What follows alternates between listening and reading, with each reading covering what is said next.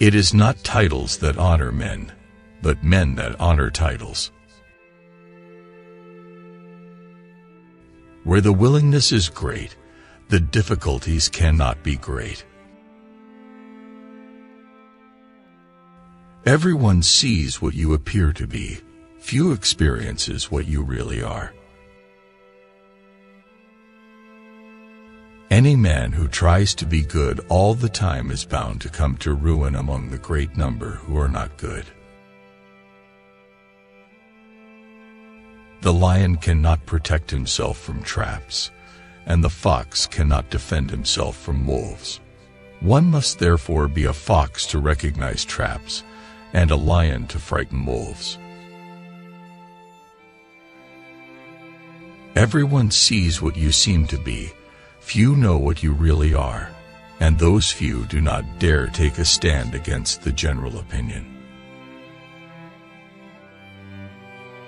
There is no other way to guard yourself against flattery than by making men understand that telling you the truth will not offend you.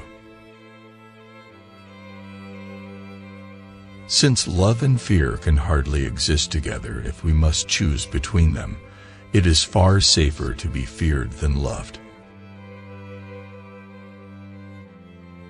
Never attempt to win by force what can be won by deception. How we live is so different from how we ought to live that he who studies what ought to be done, rather than what is done, will learn the way to his downfall, rather than to his preservation. He who wishes to be obeyed must know how to command. Whosoever desires constant success must change his conduct with the times. And here comes in the question whether it is better to be loved rather than feared, or feared rather than loved. It might perhaps be answered that we should wish to be both.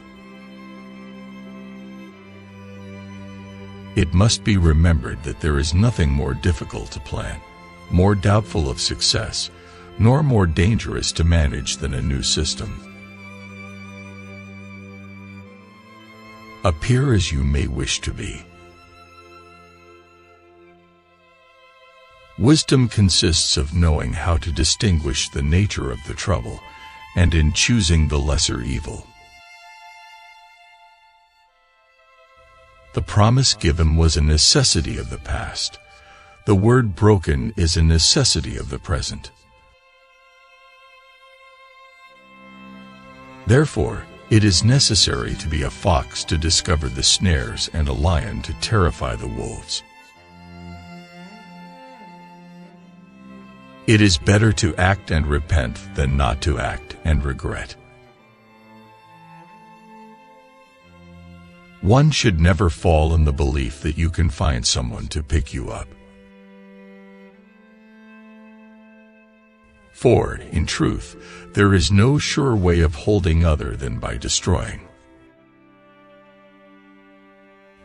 The incredulity of mankind, who do not truly believe in anything new until they have had actual experience of it. It is double pleasure to deceive the deceiver.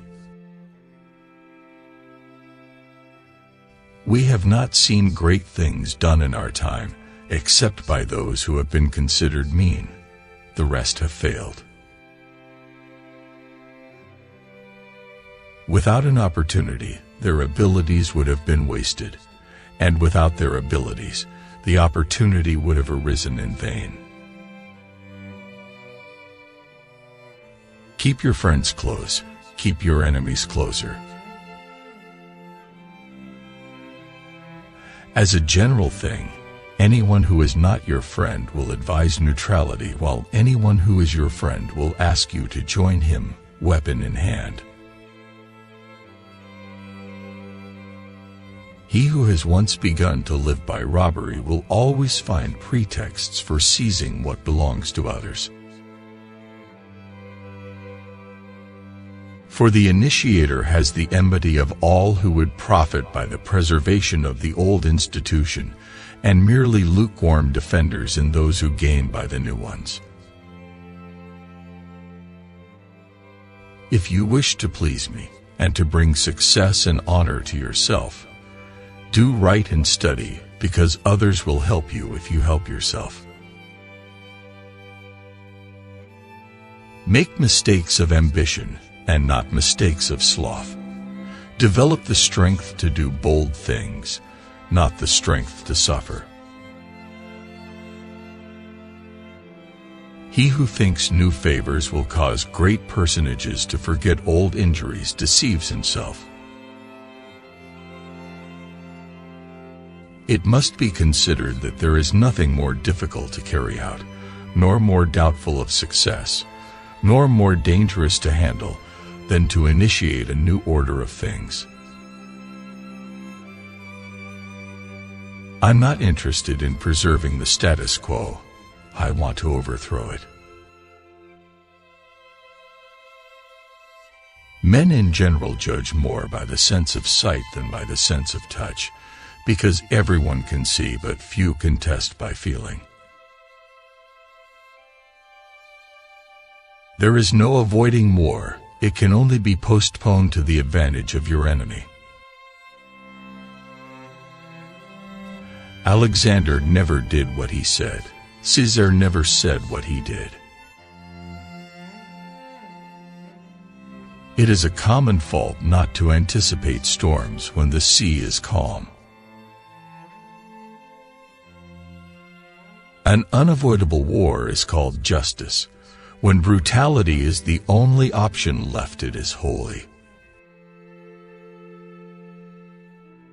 The first method for estimating the intelligence of a ruler is to look at the men he has around him.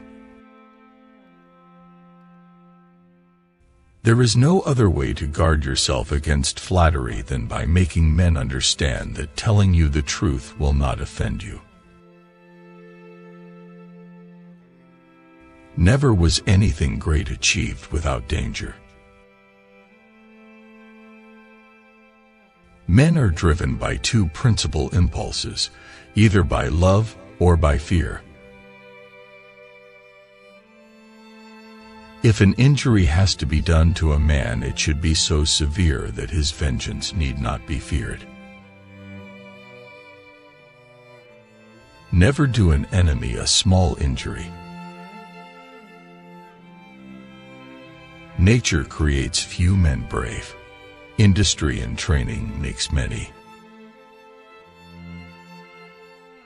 The new ruler must determine all the injuries that he will need to inflict. He must inflict them once and for all. He who is highly esteemed is not easily conspired against.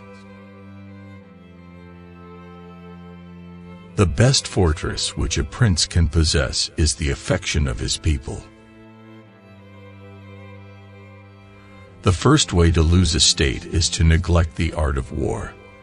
The first way to gain a state is to be skilled in the art of war.